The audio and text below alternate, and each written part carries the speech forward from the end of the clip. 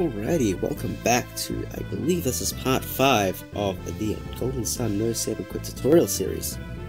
Last time we got through Goma Cave, um, we saw how Forge was a bit of a jerk, and today we're going to go through Bilibin and Imil. Uh, Bilibin has the first and probably the only shopping sequence, or there's two shopping sequences actually, uh, this is the most significant one, believe it or not. And then we go, go up to Imil, and that's some of the most dangerous fights in the game because of the, of the basically the decision to go there first. Anyway, at this point in the run, we have just left Bilibin Cave. Um, oh, sorry, not Bilibin Cave, Goma Cave. And we want to head in Bilibin. I like to do this little upright movement here just to hit with this bit of the collision to get here slightly faster. First thing we want to do in Bilibin is head into the weapon shop. Well, the weapon and armor shop. What we need to do here is we collected some things back in Bilibin, in particular this Water of Life, in particular this Bandit Sword, uh, and we want to um, sell these off in order to be able to buy some really cool things in Bilibin. We need to buy things for two reasons. First of all, we need to increase our damage output. Second of all, we need to buy armor to reduce the damage we take from Saturos. That's pretty much the only reason we buy armor here, is because Saturos has a ton of physical damage that we can't avoid, and buying armor just greatly increases the success rate for the strategy. Um, so because of that, uh, it's worthwhile the time investment to pick up armor here. If you want to risk it, you don't have to get it. It's it's you can still do Saturos without armor. It's just way more risky. So we come to this first guy here for a reason and that's because he's the has the two big ticket items that we're going to buy. We're going to buy two broadswords. That's going to cost us 2,000 gold, um, and that's well quite expensive. So uh, we're going to get that first and uh, go from there. First thing we want to do is we're going to want to go into the sell menu as I've strongly suggested here. First thing we're going to do is we're going to sell the short sword because it's not equipped to Isaac. If you didn't equip the uh, bandit sword earlier, you don't have to sell the short sword because we will uh, be buying the broadsword and then we can sell the short sword immediately after that. But since I equipped the bandit sword, I need to do this. Hit left to get to the Water of Life, sell the Water of Life. Because I've equipped the bandit sword, I don't actually need to sell the bandit sword at this point. Um, you can. It's It may be slightly faster, I'm not entirely sure.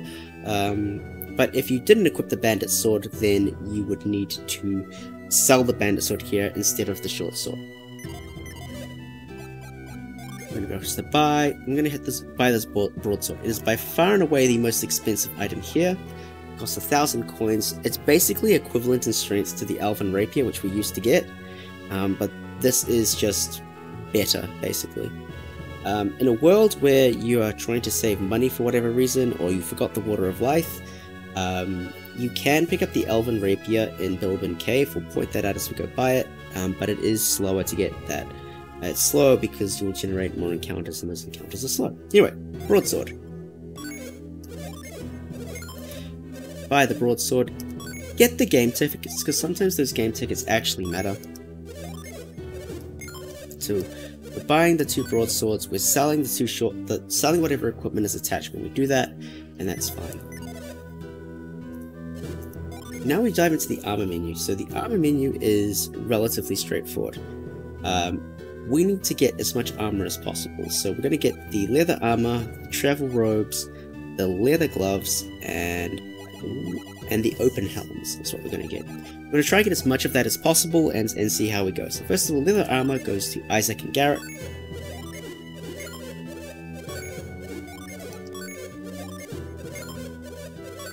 Again, selling everything as we go by. Travel robe to, robe to Ivan.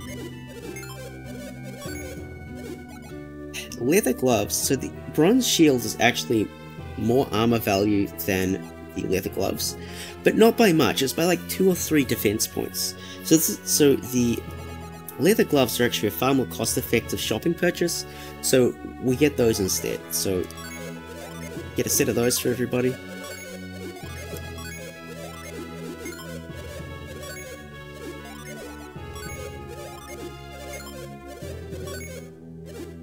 And finally, the open helm. So the open helm is just basically um, going to give us just some flat plus defense because we don't have anything equipped. So that's actually a really significant defense boost, actually more significant than most other things that we've purchased thus far, simply because we don't have any um, helmets equipped yet.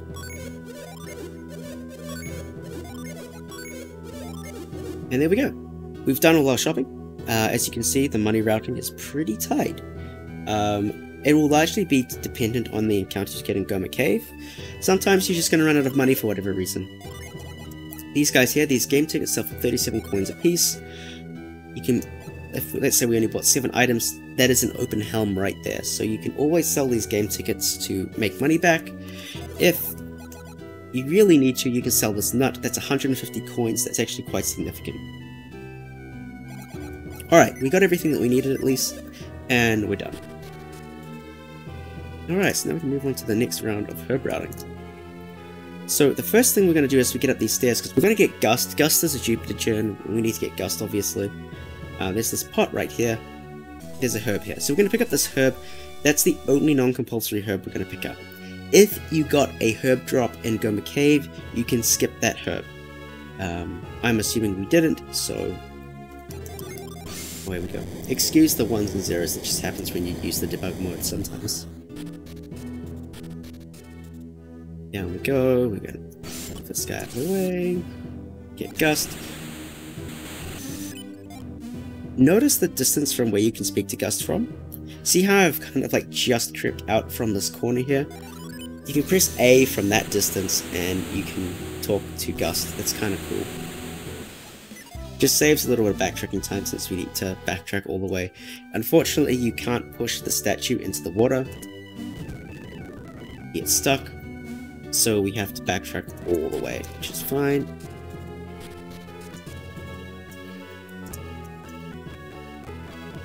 If you didn't get the herb, you could get the herb now if you really wanted to, but that's fine. Anyway, we're done with, with shopping for now, and uh, we'll revisit the herb routing in a moment, but we're done. Now we can move into encounter strategy. Now that we have all this armor attached to us, we're actually almost invincible. um, I, I, say that uh, possibly with some bad things that could happen to us, but I, I, nothing bad usually happens. Um, sometimes some people want to take the inn um, in Bilibin just to recover all your PP and HP. You really don't. We have so much armor, and we're just not going to take any fights until we have Ramses, at the very least. So we're just going to run to Bilibin Barricade and um, basically run away from any fight that we get. Not even going to touch the Djinn. We're just going to run straight to Bilibin, ba Barricade.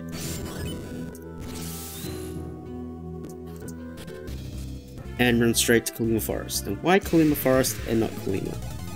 Uh, just, just watch this, right? Watch how much damage we don't take. Should probably have healed Garet, but that's fine. We're taking like 6 damage, 7 damage, it doesn't really matter. Probably want to heal someone like Garet who's only got 26 HP, but, you know, generally speaking, you're totally fine. Alright. So I often get asked the question, why are we doing...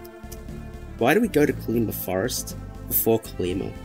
So what, you, what we what we do is we run up here, we go into Kolima Forest, we get these cutscenes, and we visit Kolima. What we're going to do right now is I'm going to illustrate what happens if you go to Kolima first. You get this additional cutscene right here.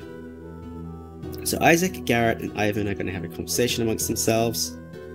Ivan's going to walk over to this tree and use Mind Read.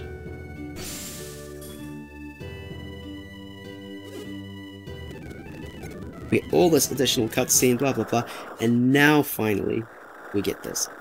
If you want, we can time this out. Notice the timer in the bottom right. Just going to put auto fire on.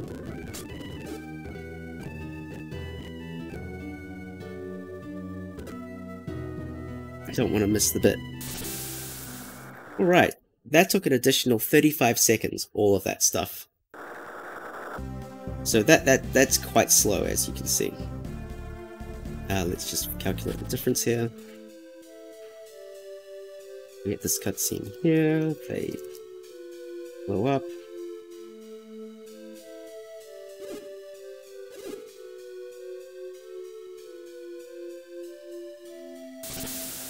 And there we go. So that's the difference. It's about 20 seconds of time loss between the two things happening just going there. So it's actually slightly faster just to dive into Kolima and then dive into Kolima. Uh, it's climb, sorry, dive into Kolima first and dive into Kolima. I guess, based on this evidence here, that there's only like 20 seconds of difference, that there is an argument that you could get less encounters by going to Kolima, for, for Kolima first and thereby saving the additional time.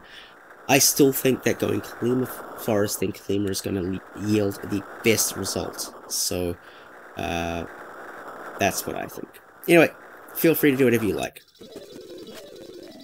Cutscene, cutscene, cutscene.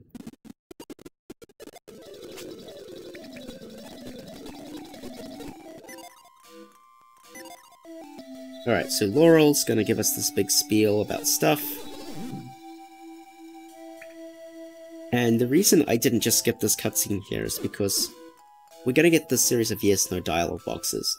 This is the one of the few instances in the game we're saying no is gonna be faster, so the first dialogue after Laurel we're gonna say yes, next one we're gonna say no. And that's gonna end the cutscene as fast as possible. Now we're to head back to Kolima. Very unlikely to get an encounter. Run down here. Now, back on herb routing for a moment. There is a backup herb in this jar if you really need it. So if you've used a, a herb, a healing item somewhere, and you need to pick up an extra one, there's one in this pot right here, but you don't need it, usually. Around the back of this tree. Annoyingly, there are actually encounters in Kolima uh, basement, one damage. Okay. Nice. One damage. Nice. Again, just running away from all the encounters here. There's no reason to take any fights at this point. Um, it takes too long to, to defeat them. Running away is faster. And we don't need the experience or anything like that, so it's totally fine. pick up granite. We really need granite. Granite is such a useful gem. Um, obviously, granite's quite the detour, right? Like we've we've gone. We want to go to Sardaros, which is in Mercury Lighthouse or the Imil area.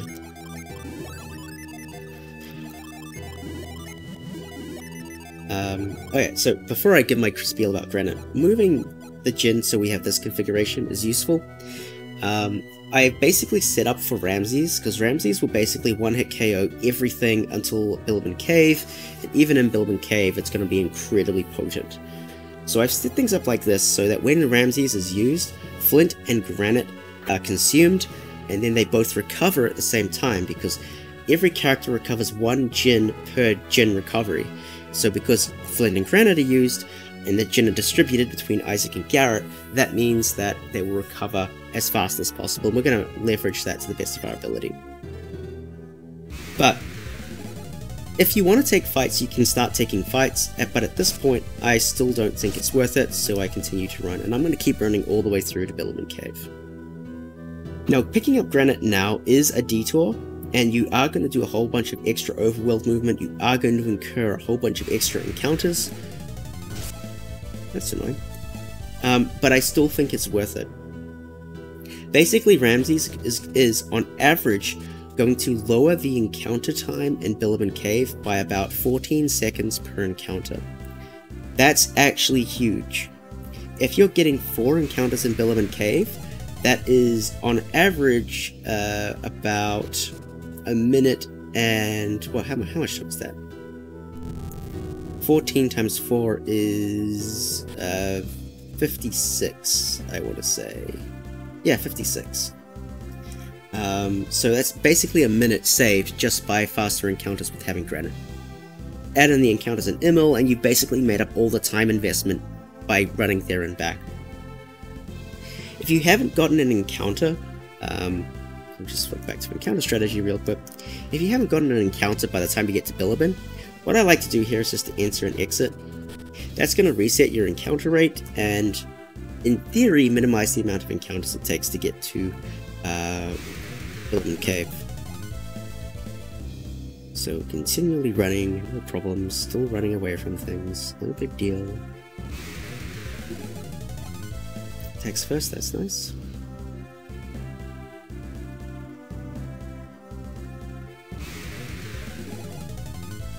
Oh, by surprise, that's less nice.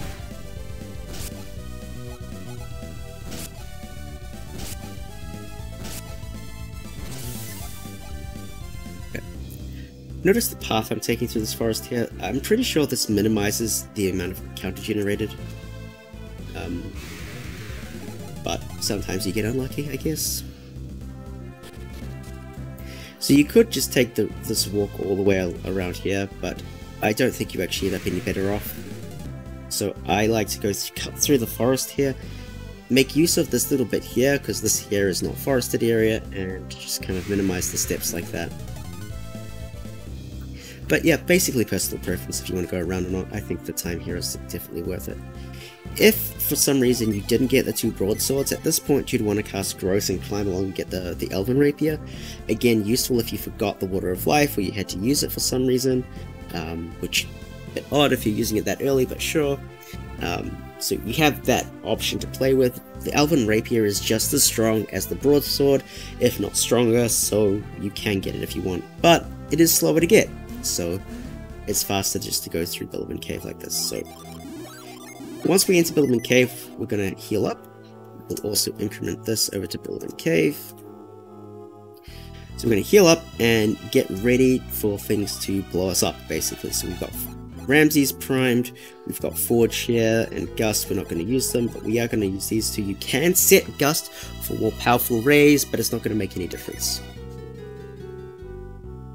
Alright, This is a fantastic encounter to get. So this here is actually the worst encounter you can get. Almost everything else will die to a Ramses and a Ray. Here, they're not going to die. The troll here has got 101 HP. If the troll was in the center, using Ramses and Ray on, on the troll would kill everything. But because it's on the edge, it's now going to be really annoying to kill. So what I'm going to do is I'm going to use Ramses, I'm going to use Flare, and I'm going to use Ray on the troll. That's annoying.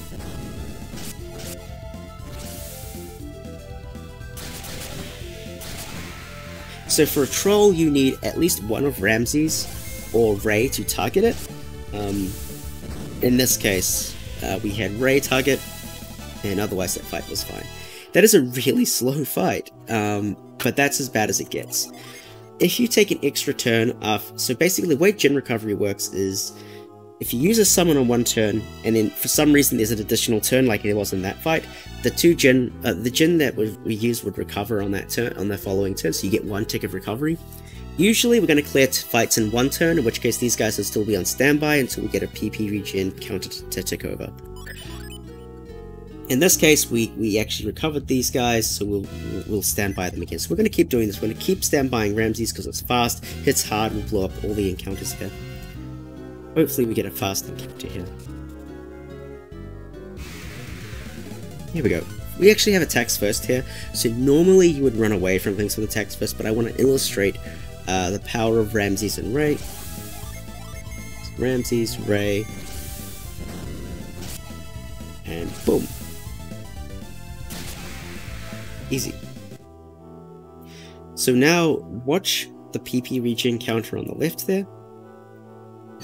Once that ticks over, you hear that click sound. That click sound tells you that the Djinn have recovered. So I'm going to set this Djinn and proceed on. Fantastic. We've gotten through Bilibin Cave. Unfortunately, the Imil Overworld is even more dangerous. So the Imil Overworld has these guys called the Mauler. The Maulers are by far and away the most dangerous enemy in this part of the game move around here. Again, minimi minimizing uh, time spent in forests and things like that. So the Mauler here is very dangerous. We're going to do Ramses on the Mauler. I'm going to attack the Ooze because I think it needs extra damage. And use Ray. Actually, it doesn't need extra damage.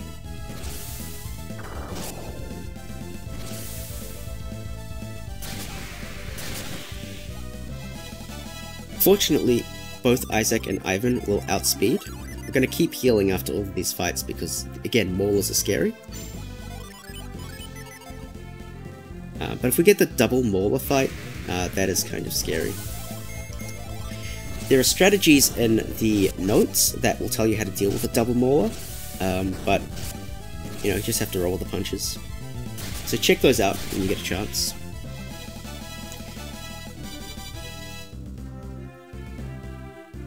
I should explain my movement there. Let's go back.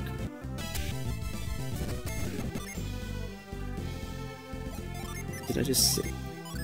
Okay, so there's two ways you can go around here. You can either go around this way, or you can do what I just did and cut straight through. Notice how I get this tick of shadow here, so this means this is not forested area. So if I cut through, hug the edge like this, I'm minimizing my time spent at the forest, I can dodge the forest and get to Imil, and that just saves a lot of movement around the edge, because look at the, the difference, right? This is actually quite a considerable walk all the way around. Uh, personal preference though, if you feel more comfortable going around, that's totally fine. You will probably generate less encounter step, but uh, I haven't done the math on it. Um, and that's, that gets us to Imil. Um, let's see if we can get another bad encounter just to illustrate things.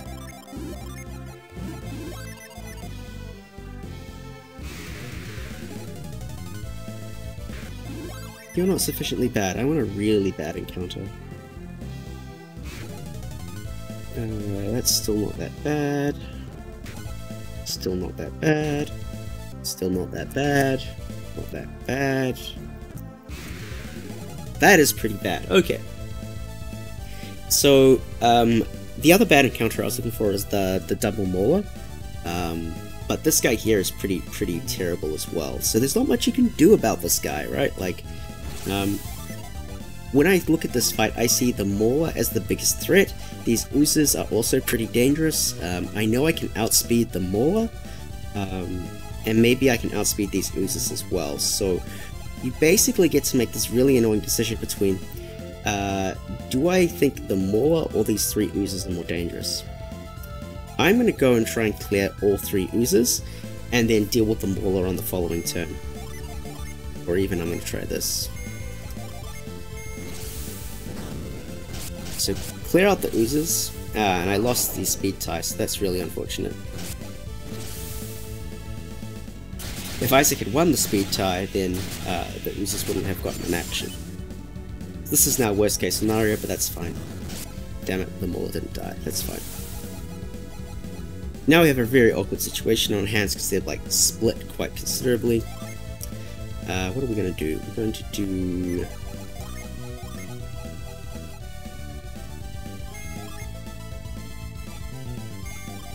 gonna do that. Damn it, didn't work.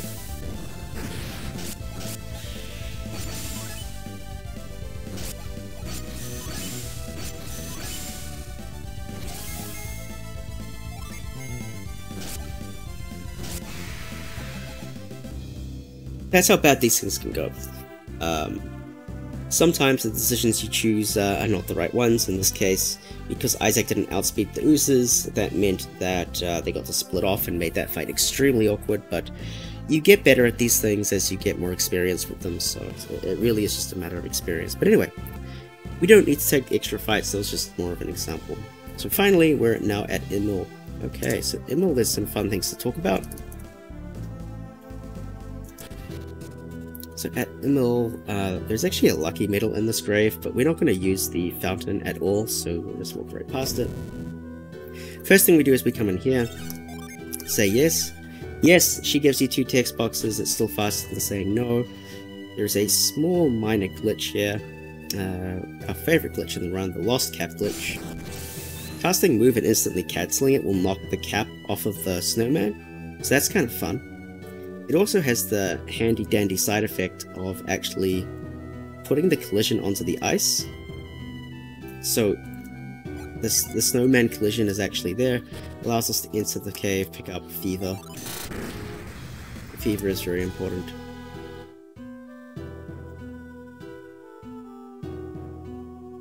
Jump in here, go through all these cutscenes. Oops, need debug mode on